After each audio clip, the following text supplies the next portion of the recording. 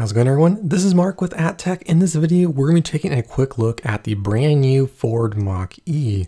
This was at the Portland Auto Show this week. I got a chance to take a look at it before it even comes out. So let's take a look around the outside and see a couple of things that we notice about this car. First of all, it looks nothing like a Mustang, despite actually being one. It is more of an SUV crossover. In fact, I'd say it's a rather small crossover more like the Mazda CX-5 or 7, somewhere around that size. I haven't seen the Model Y in person yet, but I'm guessing it would be similar to that size. And speaking of that, this is really the car that it's after. The Mach-E is really going up against the Tesla Model Y.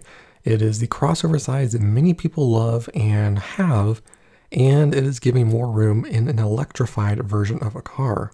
As we can expect from a lot of electric vehicles, there are a lot of rounded corners and not a lot of openings in the front of the car because it doesn't need that cooling, but it looks very similar to a lot of electric cars. They all have a similar design as you would expect. The trunk is similar to an SUV, as you would expect, similar to the Model Y, and it has a lot of trunk space from what I can see, but the windows were tinted so much that it was nearly impossible to see inside.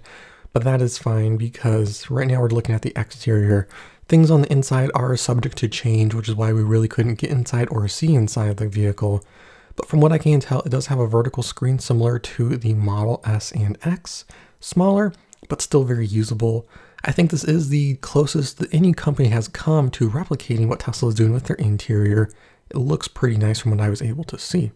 An electric car is not complete with crazy door handles, and this one has pretty interesting ones for the fact that it does not have any.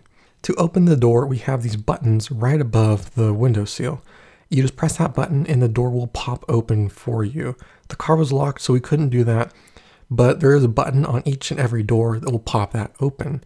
For some reason, there's little handles on the front doors to pull that open. I don't know if that's going to change and that's not on the back, so I'm not sure if they're going to add that later on either. And for those of you that are wondering, this car is capable of fast charging. On the front, we have our charge port where it should be, which makes sense.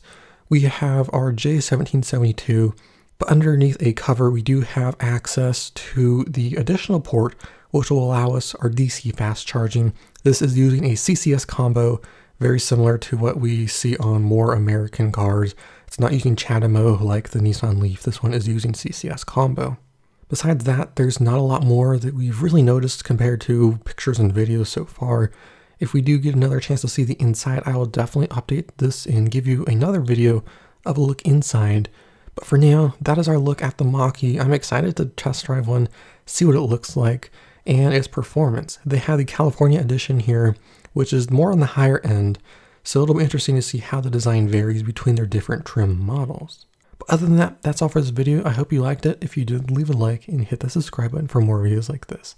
This is Mark and I will see you in the next one.